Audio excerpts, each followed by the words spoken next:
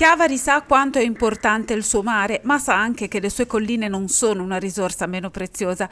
Per questo il Comune ha avuto una particolare cura per la cerimonia di consegna dei premi ai migliori oliveti, primo classificato Massimo Solari, e dei buoni spesa per l'acquisto di materiale agricolo. È un premio importante perché grazie al Comune di Chiavari che stanzia questi fondi qua ci permette di migliorare sempre di più il territorio. Il territorio, noi siamo sentinelle del territorio, siamo quelli che siamo in prima linea nei momenti di emergenze e facciamo prevenzione. Prevenzione vuol dire meno rischio idrogeologico, ricostruiamo i muretti.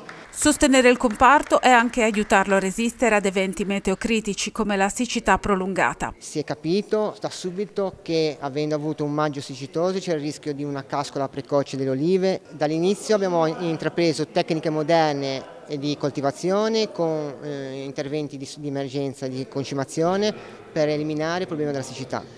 Ad oggi si preannuncia un'annata di scarica ma la qualità è eccellente ad oggi. Nelle intenzioni dell'amministrazione comunale il premio è un riconoscimento all'impegno di chi custodisce saperi e tradizioni sulla scia del percorso avviato con l'adesione all'Associazione Nazionale Città dell'Olio, ma a cura degli oliveti e anche cura della collina, ossia presidio e valorizzazione dei sentieri. Nel corso della premiazione è stato presentato il secondo video di promozione della rete, Le Creuse degli Ulivi di Rialto, un percorso di circa 40 minuti che collega il centro centro storico alla collina. I turisti stranieri soprattutto amano uh, fare le passeggiate ed è bello far capire ai turisti e a tutti quelli che lavorano nel, nel, e vivono a Chiavari di poter capire cosa c'è dietro alla fatica che si può fare per mantenere un oliveto in essere.